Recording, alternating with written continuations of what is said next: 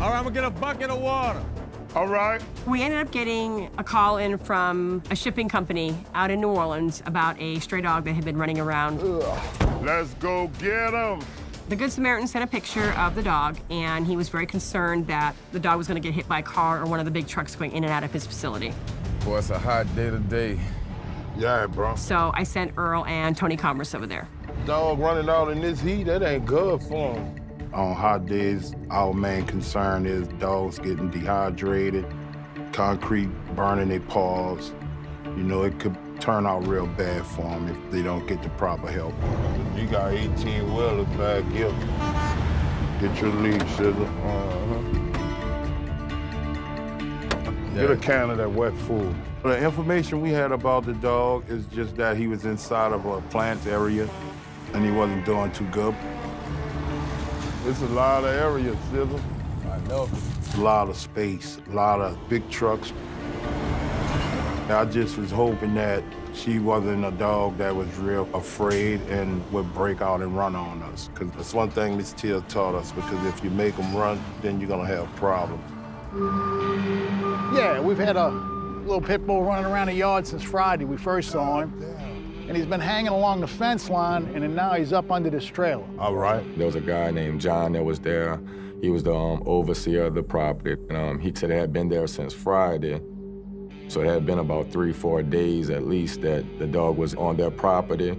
So it was just that fear that the dog might be undernourished and not in the best of shape. Boy, yeah, boy. Yeah, look, right here, guys. All right. I got you. Oh, yeah, that bit down beneath the trailer. I'm gonna let you approach first. That way you can open the water. Hey, boy. Hey, baby. Good boy. You got water too, Scissor? Yeah, I got a little water with me. Slow down, slow down. We have to move real slow and be careful that we don't scare this dog into a dangerous situation. About to come to you a little bit. Yeah. Looking at her physically, she looked fine on the outside. She do have some redness under her neck that probably could have been on a chain. We could tell she was nervous. Got that baby some food. Yeah. Keep it in the shade. Okay. You all right? There you go, there you go. When we approached her, you know, it seems like she was pretty hungry. I got you. Here you go, mama. But like every time she saw the leash, you know, she back up. Good girl, mama. You okay? You all right? Come on. She liked that food. I know. No. Come on. You all right? Come on. That leash scan. She know about a leash. She must have been chained or something. So close. She ate a can, but still wouldn't let us put the leash on her. No telling what she went through. But we also noticed when you come over the top of her head, how she would cower down. And they don't normally do that unless something happened to them. We just kind of two tough guys, and it'd be hard to trust right away. I'll try the creek.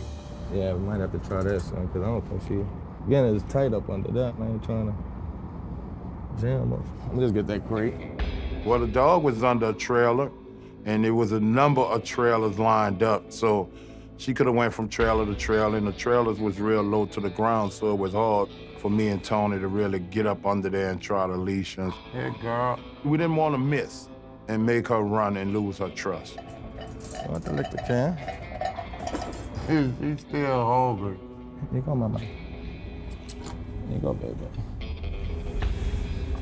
So we decided to bring the crate and put the food in the back of the crate. Open that door wide, Scissor.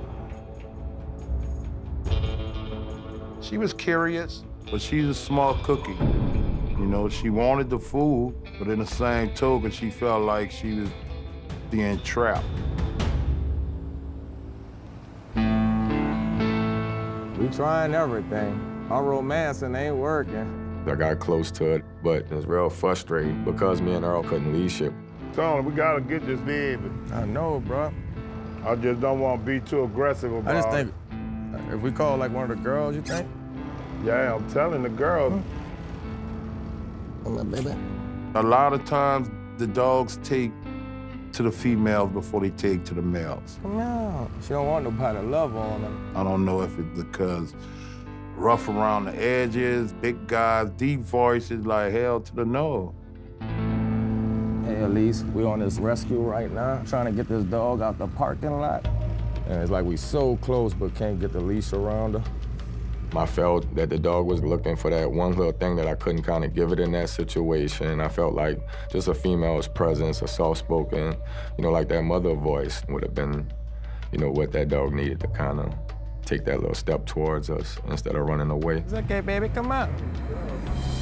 Uh, I held my composure and I just was gonna be out there long as it took, but we wasn't gonna leave without that dog. Come on, mama. Elise right here. And then here come Elise. She right there. Hey, She moving? yeah, she coming up front. You got mama? Come on, Hey, Bug. Ooh, she moving. come on. Hi. Come, it's okay. Come. Look Come. she walking up to you, Lee. Come here. Hi. Some dogs take better to women. You know, fearful dogs, we're a lot less threatening. We're smaller, we're softer. You don't have big, booming Toney and Earl voices. Come here, good girl. Hi. Hey, it's okay.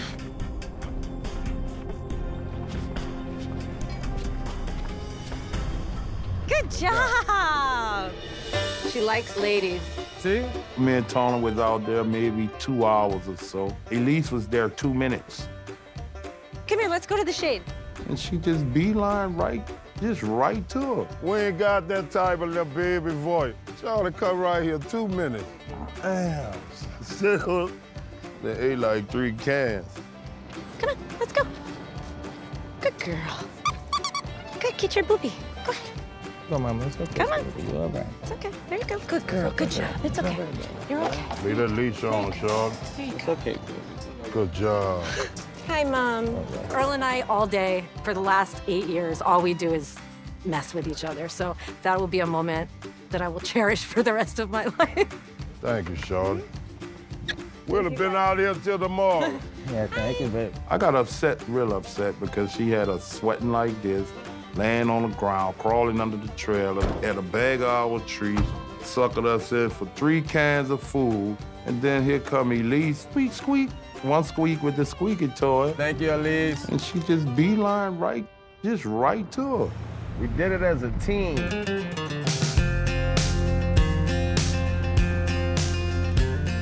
Look, she done chilled down.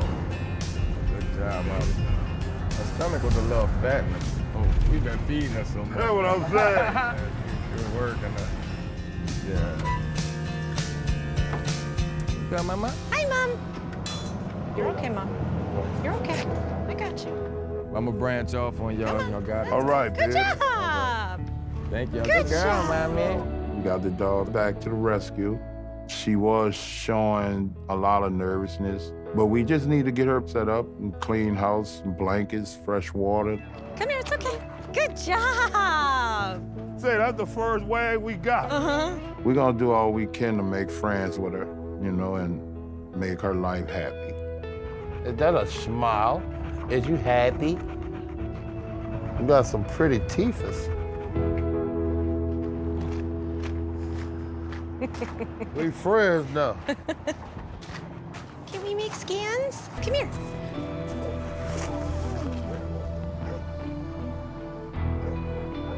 Good girl. Nada. Well, we ain't got no chip in them, man. So Let's bring her back. I've been here all my life, you know, so I know the ins and the outs and for the area we found the in is no residents back there. So we know if this dog was in that area, somebody dropped her off. Come here. And we're gonna take care of this dog until she's adopted. Oh, it's okay. It's okay. You're okay. Yeah. Come on. Come on.